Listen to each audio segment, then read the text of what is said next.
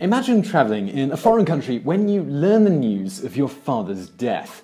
Now imagine that that death means you are now at the helm of the British Empire. This is how Queen Elizabeth II discovered that she would no longer be a princess, but instead would be the queen of the most powerful empire in history. She was only 25 years old and would soon become the head of one of the world's most powerful monarchies, a post she would hold for much of the 20th century. Elizabeth wasn't even supposed to be queen, but as the old saying goes, when humans plan, God laughs. Thanks.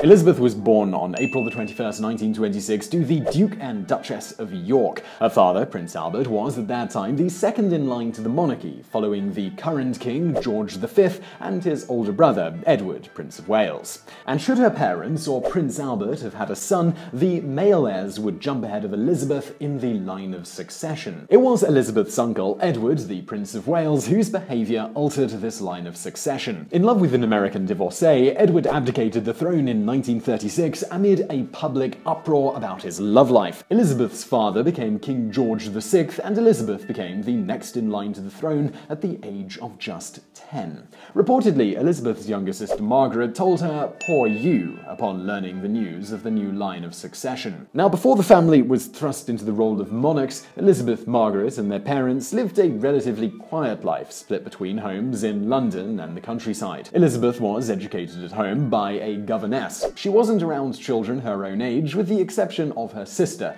which was a somewhat lonely experience that she tried to avoid for her own children. During these lessons, Elizabeth enjoyed learning about history and also showed herself to be a responsible and organized child. She even insisted on properly setting up her toy horses before bed each night, making sure that each was unsaddled and fed.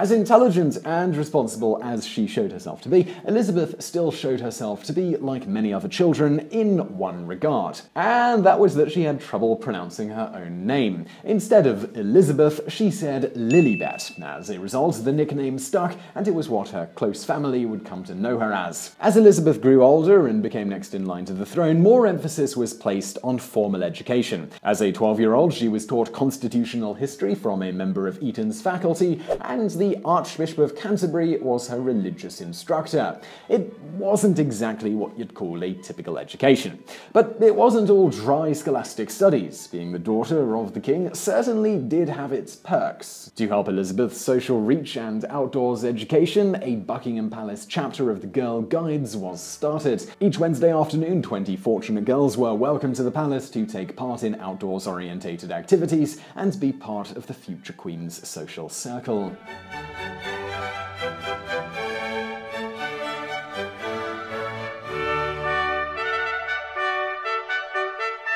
But alas, the comfortable, innocent childhood of Elizabeth, it was not to last. Coming of age in the 1930s, her life would be affected by World War II before she turned 15. By 1939, England was at war, and though pressure mounted to send Elizabeth and Margaret to Canada, their mother would hear of no such thing. Instead, they were sent to live at Windsor Castle in 1940. This, it served two purposes, keeping Elizabeth and Margaret safer than they might otherwise be in London, but also helping to show the strength of the country in a time of terrible upheaval and fear. If England was safe enough for the princesses, then it was safe enough for the rest of the country too, and Brits should be proud and patriotic to do their duty for the war, just like the young princesses were doing. Now, while the royal sisters were staying in a castle and were closely watched over, that does not mean the princesses were completely exempt from all the fears and uncertainty that comes with war. While they were staying at Windsor Castle, hundreds Hundreds of bombs were dropped in the area, and like so many of their countrymen, Elizabeth and Margaret were roused from bed in the middle of the night, rushed to bomb shelters, and kept on constant alert for the air raid siren. In October of 1940, at the age of 14, Elizabeth gave a radio address that was heard throughout England and North America. She discussed the situation that she and Margaret were in, talking about how they understood what their evacuated peers were feeling. They talked about being separated from their loved ones and living in a world turned upside down by violence. But Elizabeth, she wanted to do more for her country than just speak on the radio. She was not yet 18 though, and it wasn't until near the end of the war that she was given the opportunity to serve as a trainee ambulance driver. She learned about car repair, and photos of her working became iconic images of the British war effort. On VE Day, she wore her uniform and stood on the balcony with Prime Minister Churchill and her parents. Elizabeth, she was not yet queen, but even as a teenager, she had shown herself to be quite the leader.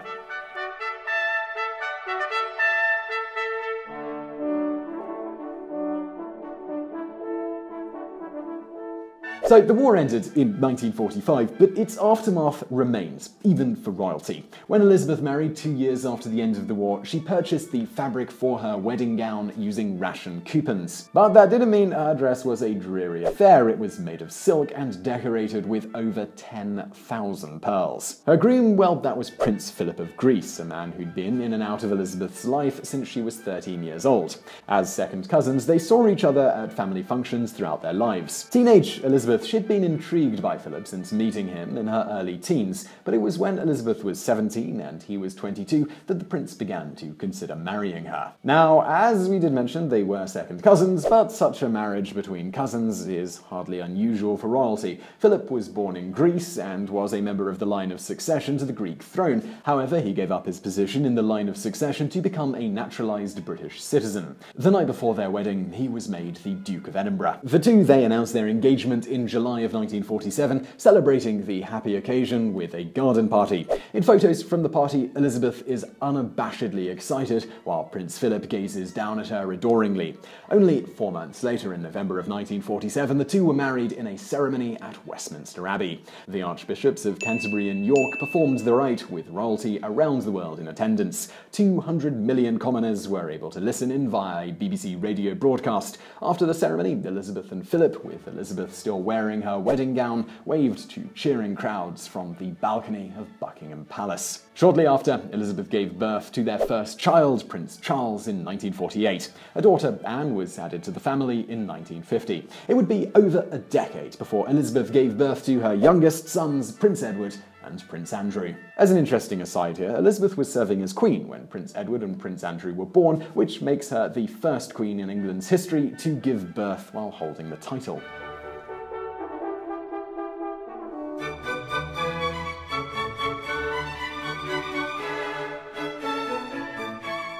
Was her husband, Philip, who had the difficult duty of passing the word to his wife that her father had passed. The two knew he was ill. In fact, they were traveling in Kenya because the king was not well enough to travel internationally, so his daughter and son in law took on the duty. The trip was supposed to include travel to Australia and New Zealand, but of course, news of the king's death took priority over all else. Elizabeth, true to the stoic stereotype of the British and especially the royals, reportedly did not succumb to her emotions upon hearing the news, but instead began planning the practical steps for what must come next. She and Philip, well, they returned to England, and it was on that plane flight home that she finally allowed herself to cry.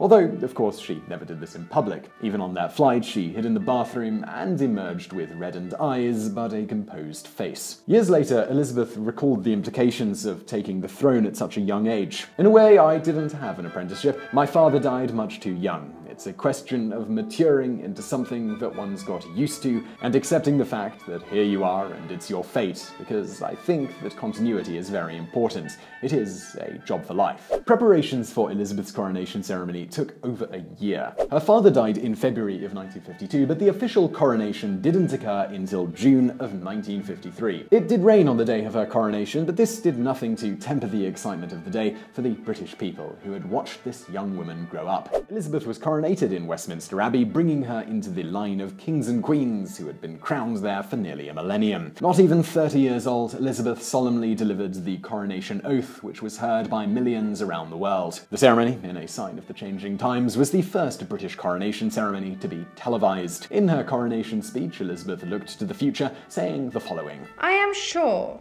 that this, my coronation, is not the symbol of a power and a splendor that are gone, but a declaration of our hopes for the future, and for the years I may, by God's grace and mercy, be given to reign and serve you as your queen.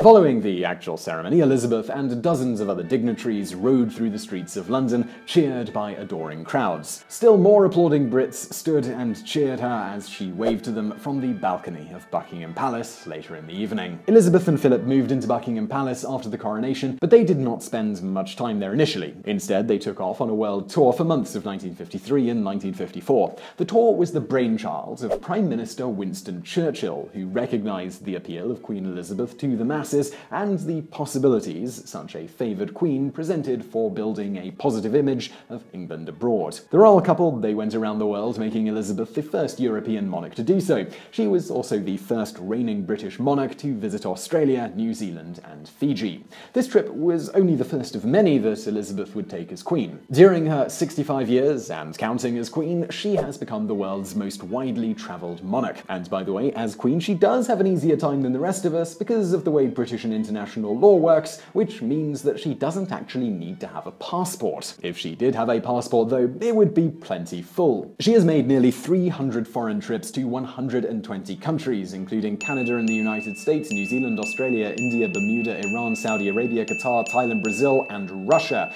These are but a few of the countries she's visited. Some of the most notable trips she's taken include the opening of Canada's Parliament, she's been the honoree at a ticker tape parade in New York City, and she's awarded the Mother Teresa Order of Merit in India, and she's also spoken at the United Nations. Travelling, it's been a large part of Queen Elizabeth's reign, but representing her nation abroad well, that's not her only duty. As a monarch in a constitutional monarchy, she is tasked with many domestic duties. Though she does not get involved in politics, she must stay well informed of what is going on within her country and around the world. Each day, she receives piles of reading material encased in red metal boxes. The tradition of these red boxes dates back nearly two centuries, and until recently, members of parliament also received them. Parliament actually recently opted to get digital versions of these documents, but the Queen remains tied to paper delivery, so those red boxes continue to arrive daily at her door. The material contained within encompasses everything from foreign intelligence to economic updates to the most mundane matters of state. Reading and digesting the information can take several hours a day, but it is a crucial part of her role as leader. Even today, at the age of 90, she receives her red box each day and takes the time to go through the crucial information contained within it. Queen Elizabeth's more public duties include presenting medals, issuing knighthoods, and presiding over many ceremonies that take place in a society that still has a queen. As she has aged, some of Elizabeth's duties have been passed down to her children and to her grandchildren, particularly ceremonies where the nobility receive their titles.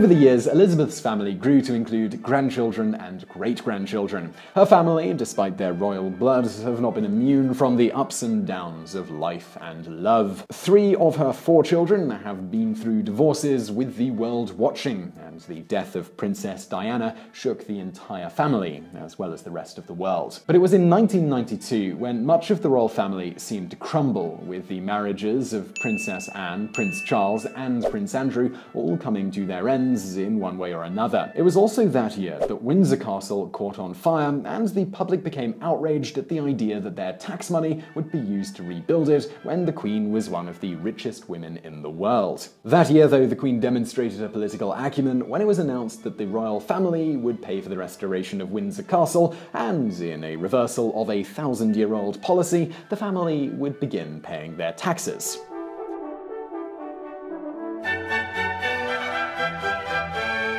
Queen Elizabeth, she has long understood the importance of public opinion. She's been the power behind the British monarchy's increased visibility in the media. She realised that the public wanted to know more about the family. They wanted to feel like they knew the royals. Increased transparency was one way to help the royal family connect with the public, and it has long been a hallmark of Elizabeth's reign. Hers was the first televised coronation, and then she was the first to allow television cameras into Buckingham Palace. Live cameras were allowed into the palace during President Nixon's visit. An informal informal event that included lunch and the swapping of signed photographs between the world leaders. Elizabeth also welcomed cameras into the family's lives for the production of a documentary on the royals, hoping to show them as simply humans who loved their family members. But it wasn't until 2007 that Buckingham Palace really got with the times and launched an official YouTube channel. This was 10 years after perhaps one of the most important displays of Elizabeth's use of the media to effectively communicate with the public, her speech about Princess Diana.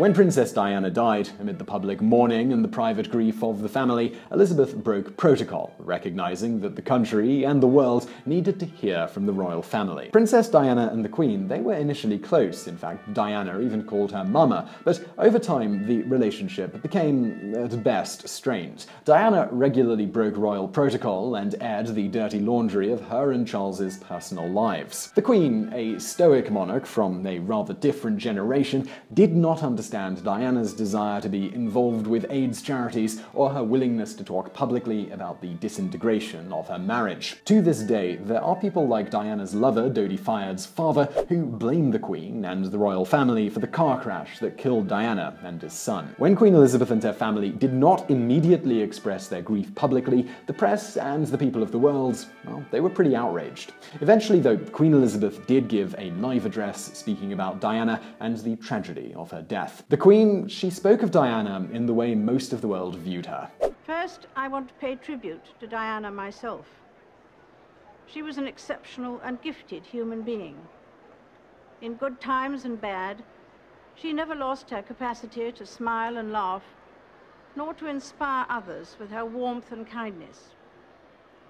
I admired and respected her for her energy and commitment to others, and especially for her devotion to her two boys. While public opinion didn't immediately fully rebound in the Queen's favour, the address was helpful in stemming the tide of criticism.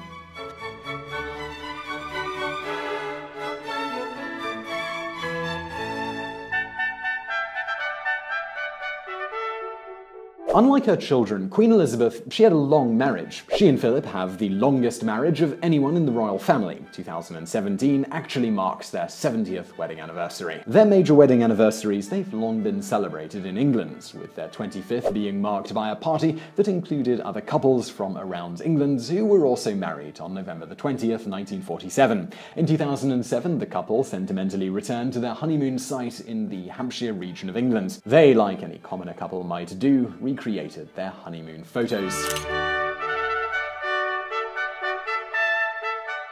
At their 50th anniversary, Queen Elizabeth, in what is regarded as an emotional expression for a member of the British monarchy, said this of her husband and her marriage. He is someone who doesn't take easily to compliments, but he has quite simply been my strength and stay all these years. And I and his whole family, and this and many other countries, owe him a debt greater than he would ever claim or we shall ever know. Queen Elizabeth's reign has also been punctuated by celebrations of milestones not just in her marriage, but also in the number of reigning years. Her Silver Jubilee, celebrating 25 years of her reign in 1977, was a nationwide party, marked by sporting events, carnivals, concerts, and general festivities. 25 years later, in 2002, her Golden Jubilee was just as merry of an affair, even though, unfortunately, both her mother and sister had died earlier in the year. To mark this occasion, Queen Elizabeth and Prince Philip travelled around the world. In June, a Jubilee weekend was held to mark the 50 years. One event called the Party at the Palace particularly stood out. Paul McCartney and Eric Clapton performed, and Brian May played a version of God Save the Queen. It was a raucous celebration filled with some of Britain's most recognisable celebrities, and it was watched all around the world. Thousands of people crowded London's parks and streets to see their favourite performers sing along with their favourite songs, and most of all, to cheer for their Queen.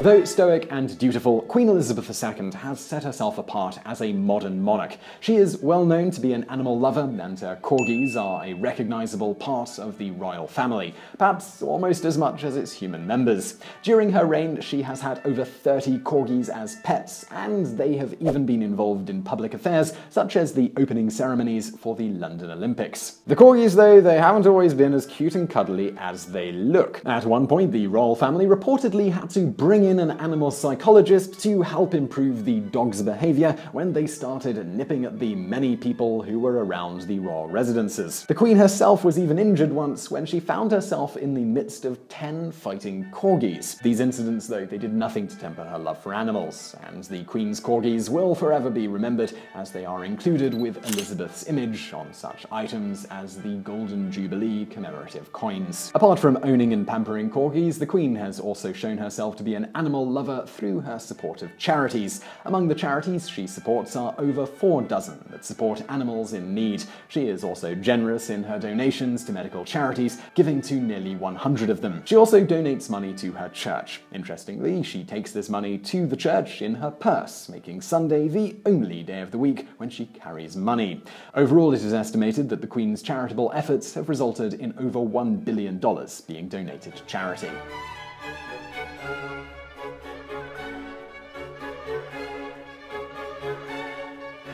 Queen Elizabeth II, she has been in the public eye since childhood. Now, in her 90s and her 65th year as Queen, she was a world leader for much of the 20th century and has helped usher in the 21st. Her reign has spanned that of 12 US presidents, 12 UK prime ministers, 7 popes, and 6 archbishops of Canterbury. She has replied to more than 3.5 million pieces of correspondence and received thousands of birthday greetings throughout her lifetime. She has met with leaders from all corners of the world and surpassed longevity records of both British and foreign monarchs. She is one of only five British monarchs who have ruled for more than 50 years, and in 2015 she became the longest reigning British monarch. Previously, that title had been held by Queen Victoria, Elizabeth's great great grandmother, who reigned for 63 years. Queen Elizabeth II, she's an icon of the 20th and 21st centuries, a strong female leader who retains a love of her people and a strong standing in the international community. She helped bring the monarchy into the modern world and remained stoic and dutiful through even the most trying of times. God save the Queen. So I really hope you enjoyed that video. If you did, please do hit that thumbs up button below and don't forget to subscribe. We put out brand new videos twice a week. And as always, thank you for watching.